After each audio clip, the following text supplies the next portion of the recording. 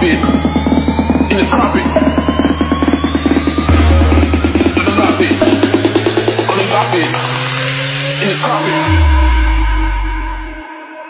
I feel so bad.